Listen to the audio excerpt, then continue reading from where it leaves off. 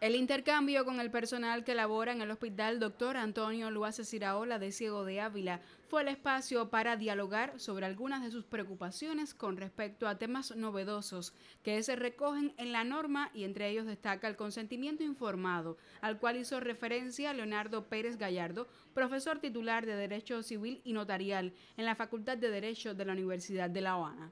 El consentimiento informado, que es la piedra angular de los procederes médicos, ese consentimiento necesita la intervención de la multidisciplina.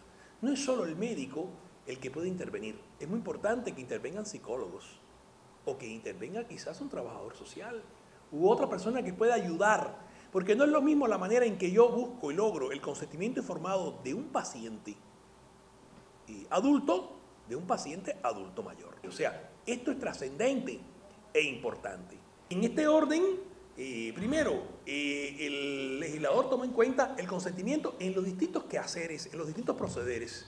No es lo mismo el consentimiento que yo voy a, obtener para un ensayo clínico que el consentimiento que yo voy a obtener para una intervención quirúrgica que el consentimiento que yo voy a hacer para unas pruebas diagnósticas. Porque hay estándares internacionales que quedan regulados de qué pasa con un ensayo clínico, qué pasa con un proceder quirúrgico. Porque el consentimiento se llama informado, no porque yo le dije que lo iba a intervenir quirúrgicamente en el turno de las 11 de la mañana del lunes. Es porque yo le expliqué todos los riesgos que puede suponer la intervención quirúrgica. Esta legislación, que fue aprobada por la Asamblea Nacional del Poder Popular en diciembre de 2023, supera la Ley 41, Ley de la Salud Pública, que data del 13 de julio de 1983. Sin embargo, como enfatizó el doctor José Ángel Portal Miranda, titular del ramo, durante la presentación del anteproyecto de la nueva ley, esta toma esencias de su predecesora, se perfecciona, se enriquece y se actualiza. De ahí que resulte tan controversial el tema de la eutanasia y el reconocimiento al derecho a una muerte digna. El gran avance de esta ley es que se regule, que se prevea, que se, que se visualicen los, los cuidados paliativos, Determinaciones sobre el final de la vida no necesariamente son actos eutanásicos. Determinaciones sobre el final de la vida es cómo quiero que transcurran los últimos años. La ley de salud pública sí deja previsto en uno de sus incisos la posibilidad de actos eutanásicos. Pero esa posibilidad, a mi juicio, a mi juicio, yo no soy el experto sobre este tema.